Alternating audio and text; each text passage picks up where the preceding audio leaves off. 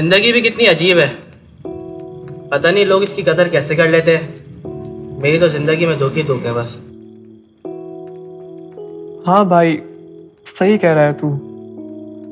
जैसे जैसे हम बड़े होते जाते हैं ज़िंदगी अजाब बन जाती है। तुम लोगों की शक्लें क्यों उतरी हुई हैं बे? यार अब्बा मुझे ज़बरदस्ती सीए करवा रहे हैं। क्योंकि उनके ख़ानदान का हर एक फर्द चार्टर्ड अकाउंटेंट है। लेकिन मेरा हमेशा से शौक सॉफ्टवेयर इंजीनियरिंग करने का रहा है। लेकिन मेरी उन्होंने एक नहीं सुनी। और अब जब पेपर क्लियर नहीं हो रहे तो वो चाहते हैं कि मैं पढ़ाई छोड़ दूँ और उनके साथ दुकान पर लग जाऊँ।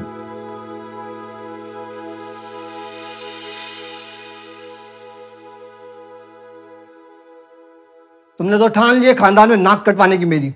पिछले दो साल से मैं उम्मीद पे बैठा हूँ कि तुम अब सीए के पेपर्स पास करोगे। लेकिन लेकिन हर बार तुम मेरी उम्मीद तोड़ देते हो। जाओ यहाँ से।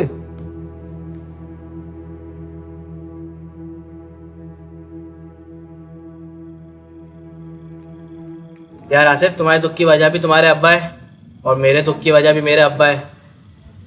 वो चाहते हैं कि मैं उनकी दोस्त की बेटी ईमान के साथ शादी कर लूँ। दो साल से पीछे पड़े हुए मेरे। क्या बात कर रहा है बे? तू तो अक्सा को नहीं पसंद करता है? तूने उसके बारे में अपने घर में नहीं बताया होगा? अच्छी तरह मालूम है उन्हें। उनके दोस्त की बेटी ऐमान के पैदाइश पे उन्होंने इस दोस्ती को रिश्तेदारी में बदलने का फैसला किया और इसके लिए मुझे वो बली का बकरा बना रहे हैं।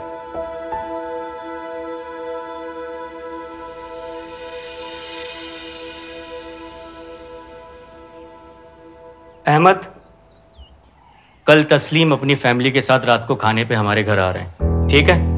ईमान भी होगी। लिहाजा आप रात को घर पे ही रहिएगा। अब्बा आप जानते हैं ना मैं अक्सर को पसंद करता हूँ। बस बस इस बात पे बहुत बहस हो चुकी है। मैं तुम्हें अपना फैसला बता चुका हूँ। वहाँ तस्लीम इस इंतज़ार में है कि मैं उसके घर जाऊँगा ईमान का हाथ मांगने। तुम्हारी शादी होगी तो ईमान के साथ ही होगी।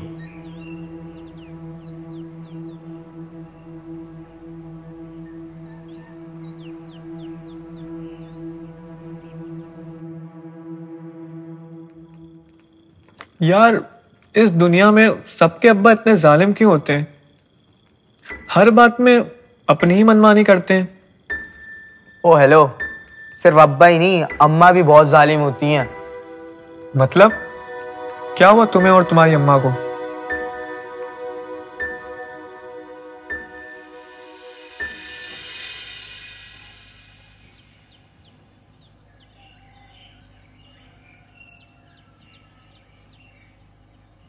सैफ? अरे ये कमरे की क्या हालत बना के रखी है बेटा? वो तुम्हारा गैप ईयर ख़त्म होने वाला है। तो तुम्हें नहीं लगता कि तुम्हें अपने आगे की तालीम के लिए किसी बाहर की यूनिवर्सिटी में अप्लाई करना चाहिए? तुम्हें जिस भी फ़ील्ड में इंटरेस्ट हो तुम वहाँ एप्लीकेशन डाल दो। अम्मी बाहर की ही यूनिवर्सिटी क्यों हूँ? मैं यहीं किसी यूनिवर्सिटी में एडमिशन ले लेता हूँ। सैफ तुम जानते हो ना कि मैं मुस्तकबिल में बाहर आबाद रहना चाहती हूँ? और तुम्हारे अब्बू के जाने के बाद मैंने दिन रात मेहनत की है ताकि तुम्हारी तालीम में किसी किस्म की कोई कमी ना आए। मैं नहीं जानती जितनी जल्दी हो सके यूनिवर्सिटी में एडमिशन ले लो। तेरा दिमाग तो ठीक है सैफ। यार तू हमारी तकलीफ़ का मज़ाक उड़ा रहा है। कौन सा मज़ाक हो भाई? जैसे तुम्हारे अब्बा तुम्हारे साथ ज़बरदस्ती कर रहे हैं ना ऐसे मेरी अम्मा भी मेरे साथ ज़बरदस्ती कर रही है।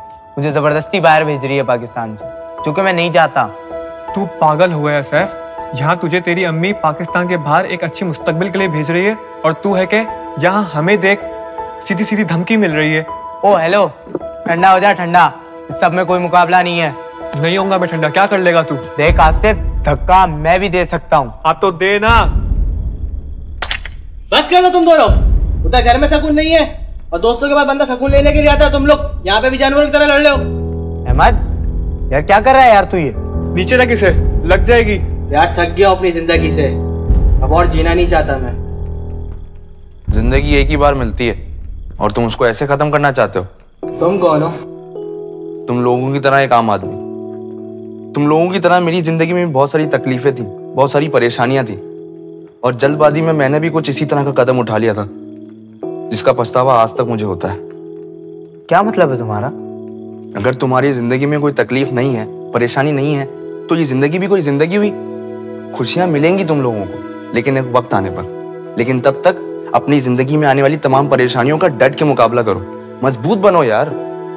कुछ भी कर लो कुछ भी कर लो। ज़िंदगी में कोई ना कोई चीज़ छूटेगी ज़रूर। इसलिए वक्त है यार समझ जाओ। शुक्रिया भाई मुझे सही राह दिखाने के लिए। इसमें शुक्रिया की कोई बात नहीं है यार। मेरे वक्त पे तो मुझे किसी ने सही राह नहीं दिखाई लेकिन मैं दूसरों को तो सही राह दिखा सकता हूँ ना।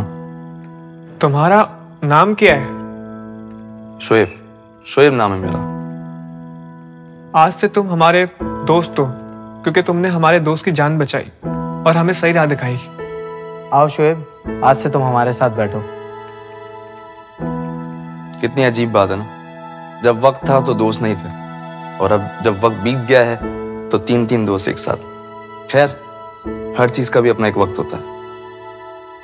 देखते ही देखते कुछ हफ़्ते गुजर जाते हैं। मेरी, आसिफ, सैफ की शोएब से बहुत अच्छी दोस्ती हो जाती है। हम चार अक्सर रात की किसी सुनसान गली के कोने में बैठकर खूब बातें करते हैं। इसी दौरान हमने अपने वालदेन के खिलाफ आवाज़ उठाने का फ़ैसला किया।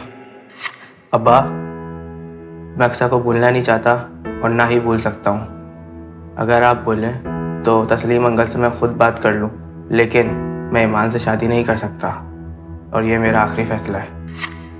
अबू ये मेरी उस यूनिवर्सिटी का फ़ी वाचर है जहाँ से मैं सॉफ्टवेयर इंजीनियरिंग पढ़ना चाहता हूँ। मुझे एडमिशन मिल गया है। मैं सीए नहीं कर सकता। मुझे सॉफ्टवेयर इंजीनियर बनना है। अम्मी मैं बाहर किसी यूनिवर्सिटी में अप्लाई नहीं करना चाहता। मैं पाकिस्तान में रहना और पढ़ना चाहता हूँ। आज मैंने अपने अब्बा को यूनिवर्सिटी का फौजर हाथ में दे दिया। साफ़ कह दिया कि मैं उनकी बात नहीं मान सकता। सही किया आसिफ तूने। मैंने भी अपनी अम्मा को साफ़ साफ़ कह दिया है। मैं पाकिस्तान में ही अपना मुस्तकबिल बनाऊँगा और यहीं रहूँगा। तुम दोनों ने बहुत अच्छा किया है। मैंने भी अपने अब्बा को साफ़ साफ़ बात की है।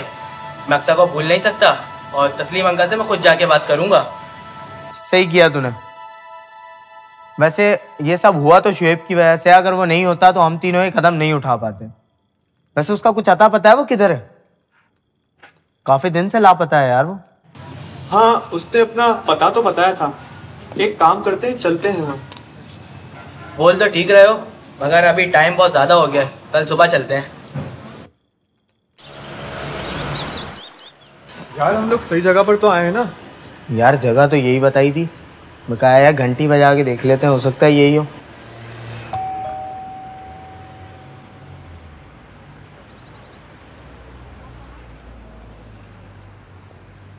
जी बेटा आप कौन अंकल हम शोएब के दोस्त हैं। क्या आप उसे बुला देंगे? क्या ये शोएब का ही घर है? आप लोग अंदर आए।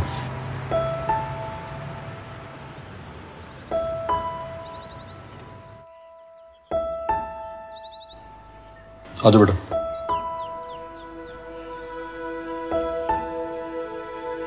बैठो।